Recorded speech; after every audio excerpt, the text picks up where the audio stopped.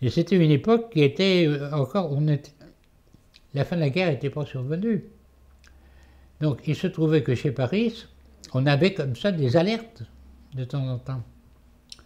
La sirène retentissait et il fallait courir aux abris. Alors de chez Paris, on s'en allait sur la route de Roche-Maurice et on allait se loger dans une espèce de, de trou au milieu de la caverne, de la, euh, de chez Prat, qui était une carrière. Et on s'installait là sur des bancs en attendant la fin de l'alerte. Et il y avait un gars qui était dévoué pour pédaler, pour nous donner un peu d'électricité quand on était là-dedans.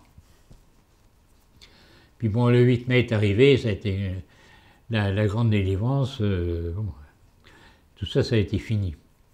Mais la carrière Pratt, euh, on avait gardé un bon souvenir.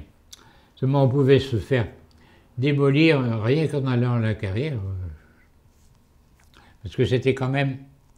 Il y avait une bonne 200 mètres.